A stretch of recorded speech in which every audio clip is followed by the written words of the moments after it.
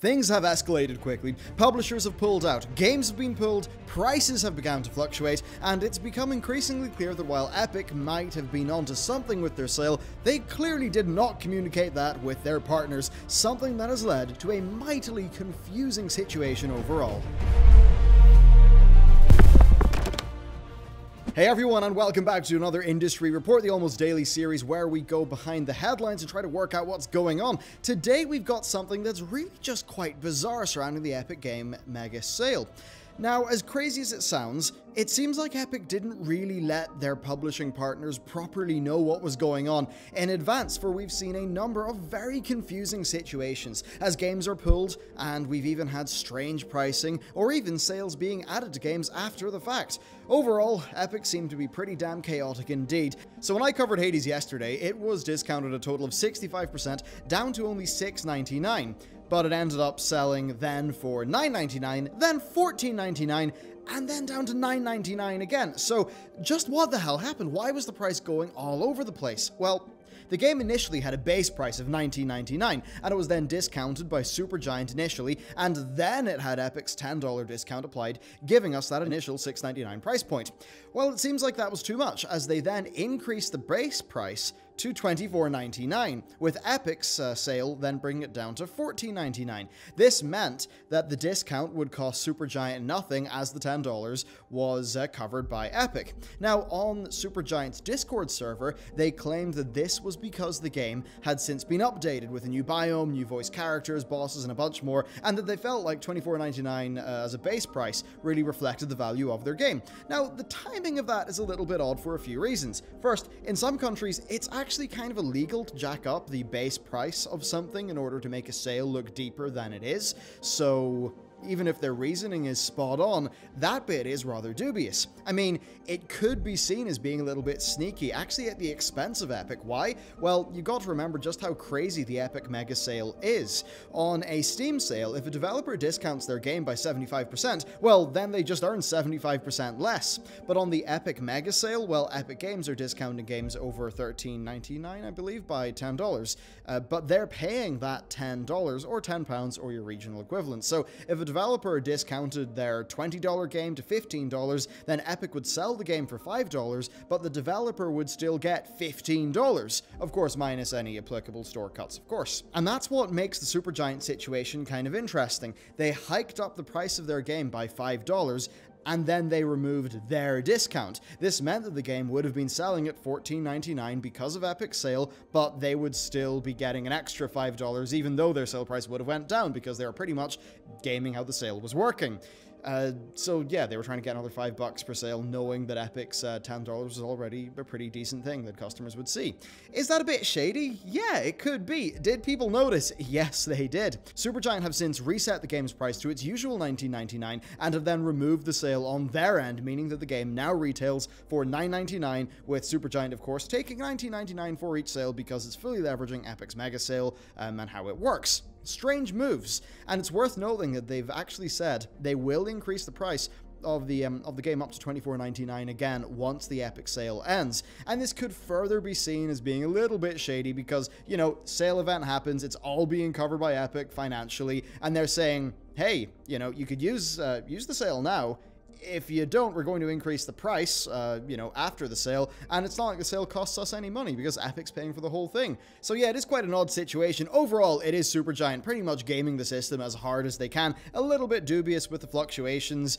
And I mean, there's a part of me that kind of can't blame them for making the best out of this situation and the mechanics at work, but also, I mean, they're obviously they've been a little bit sloppy about it, let's just say. But as it turns out, sloppy communications, really, that's the phrase of the day, because we've seen more strange things happen to more games. So initially, this is a good one. Metro Exodus was not discounted by its publisher. Its base price was $49.99 in the UK, so $49.99, uh, you know, British sterling. It then went down to $39.99 with Epic's discount. Well, since then, the game's price base has been slashed to $37.49, meaning you actually purchase it for $27.49. Now what's odd is that kind of means the publisher wasn't aware of the Epic Mega sale. I find that hard to believe, so it might have just been poor coordination or the sale being activated maybe earlier than the publisher expected, but this is actually an example of the sale seemingly accidentally not being used by its publisher initially.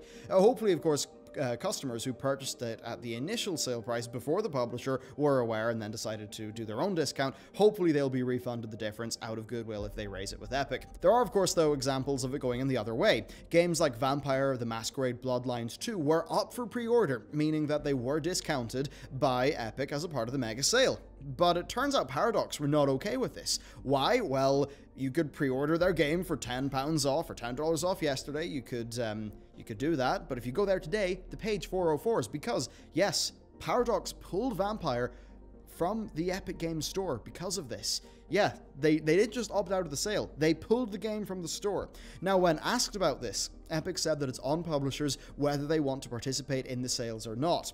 Their rep then went on to say that Paradox were notified in advance, but he then retracted that statement after being made aware that actually they had not been briefed in the sale. Yeah, I mean, mad. But still, even with that, it wasn't a case of them opting out. It was them literally pulling it uh, from Epic. But uh, they did say to Kotaku later on that the game would be brought back to the Epic Store and that um, anything, you know, any of the discounted purchases will still be honored. Uh, but of course, Paradox would say that because, let's be real, it was Epic's money anyway. So that was a really strange situation. Then something similar has seemingly happened to Oxygen Not Included, though we don't know if it's for the exact same reason. That's just another game that has seemingly been pulled from the Epic Epic Store. So what's clear to me here is that regardless of what publishers really wanted or anything like that, the Epic Mega Sale discount was pretty much blanket applied. Epic do not seem to have communicated this stuff well with their publishing partners, and that seems to have led to post-sale launch confusion. I mean, there are just some strange situations. There's some games that discounted themselves below the threshold at which Epic would have discounted them by $10. So, as an example, if your game retailed uh, for $14.99, but you discounted it to $11.99, then Epic wouldn't cover anything because it's below Epic's threshold. And again, it all just comes down to tremendously messy messaging, where key partners like Paradox were seemingly just not made aware. And then past that, I actually saw some users reporting that they purchased multiple games in a row only to have their account suspended by the store's anti-fraud system. Now, this cannot be verified. People did say that their issues were resolved by customer support, but it's kind of funny because it would not have happened if the Epic Games Store, you know, had a multiple item basket. Because yeah, right now, if you want to buy five games, that's five separate purchases, five, you know, separate times. You got to go through the whole checkout process, which is just a bit dumb. Now here's a weird angle to this. So you might be wondering why a publisher would not be happy to sell their game at a $10 discount when they don't even have to lose those $10 because Epic are covering the $10, right? The Epic sale really is generous towards both developers and players, so just what the hell gives here? Well, much of it is about perceived value. You see, the higher price something is, the more people will think it is worth. That's just a documented thing in human psychology, and you might disagree, you might think, oh, just because a game is expensive doesn't mean I think it's worth more, but I'd like to point out that when a game like Anthem or Fallout 76 fails, well, why does everyone, like, immediately highlight any price discounts or fire sales? It's because we think the game's bad bad quality, we think it's low value, we think the initial sale price is beyond what the game is worth, so if the price decreases, or maybe, you know, you get a free copy of Fallout 76 along with a game controller add-on, well, that's pretty much the market acknowledging our low perception of the game's value through pricing. And that's why we laugh at a game getting bad reviews and then having its price be slashed.